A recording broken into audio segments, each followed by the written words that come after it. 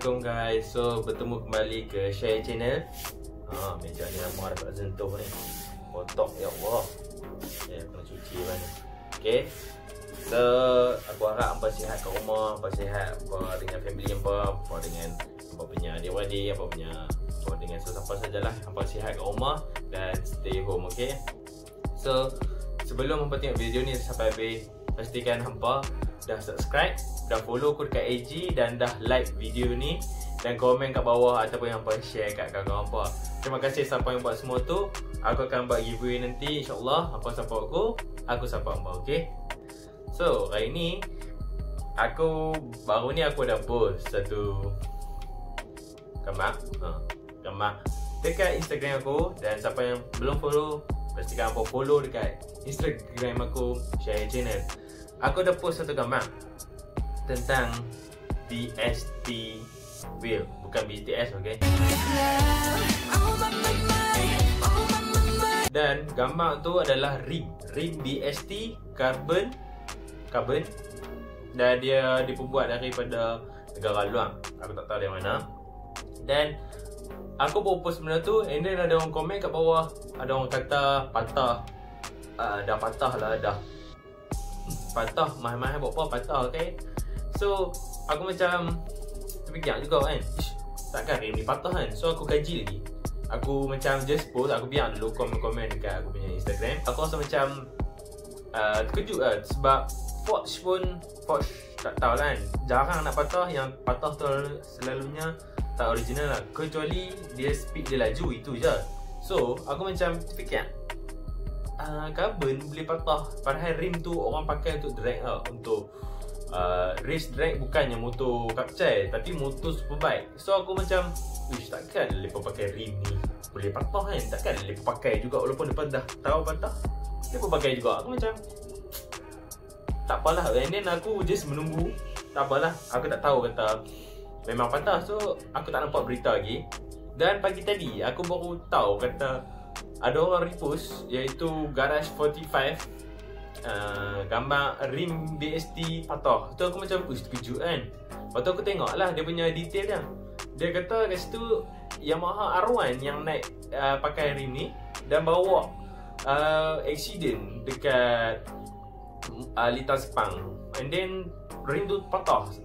Aku rasa top speed Yamaha R1 tu dalam 250 hingga 280 sampai menyebabkan rim tu boleh patah serius. Kalau aku rasa pakai kat Wisku Aku rasa tak patah kot ring tu. Walaupun bawa bawa 18 kat sini tak patah. Kecuali yang paling ingat batu yang Ataupun divider batu Yang sama tinggi dengan rim tu.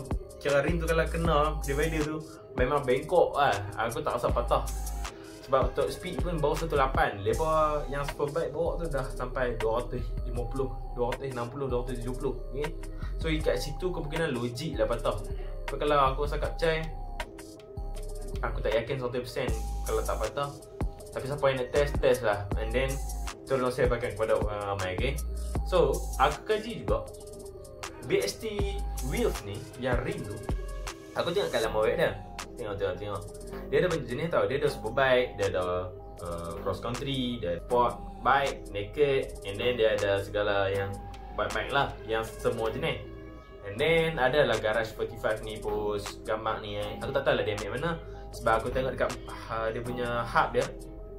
Hub dia ada empat. Empat nut okay? Dia empat. Satu, dua, tiga, empat. Dia empat. Then aku macam Okay, tak tahulah Mungkin dia punya stok dia tu tak banyak kan. Tapi bagi aku nice sebab kalau pakai dekat Waisku memang cantik gila. Serius, aku macam Kalau aku ada yang Aku jadi orang kaya kan Aku memang akan pakai ring tu. Sebab walaupun Forge Depan Forge, belakang carbon Oh nice weh Okay Lepas tu tak apalah. Lepas situ Settle dia saja kat situ. And then yang kau kata tu Aku kaji lagi. Kaji, kaji, kaji, kaji, kaji Dan aku jumpa ada Dia ada colour tau. Carbon ni BHT wheels ni ada carbon. Itu yang Baik lah dia punya jenama dia. Dia ada carbon ada warna weh Dia ada warna biru Ada warna pink Ada warna orange. Warna apa lagi lah. Kat situ warna hitam. Okay hitam tu basic lah. Tapi yang lain tu dia boleh buat carbon ada warna. Aku macam terkejut lah. And then aku surprise dan Aku harap BST Wheels ni uh, tahu kita punya kat Malaysia yang perkembangan motor kapcai kan? And then tayar kecil apa semua dia, kalau dia buat carbon aku serius aku memang salute memang terbaik lah. Tak apa aku tak kisah kalau BHC tengok video ni pun tak tahu lah dia faham ke bahasa aku ke tak kan? So aku kena letak subtitle kat sini okay? Mungkin aku letak subtitle. Okay, sampai situ saja video ku. Jangan lupa subscribe, jangan lupa like, jangan lupa komen video ni. Dan jangan lupa share video ni kat kawan-kawan apa yang nak tahu pasal BST patah and then aku pun macam terkejut sebab patah ini aku kaji-kaji rupanya disebabkan kelajuan terlalu laju baru rim tu patah okey? Itulah kesimpulannya. So terima kasih sebab tengok sampai sini. Jumpa lagi video seterusnya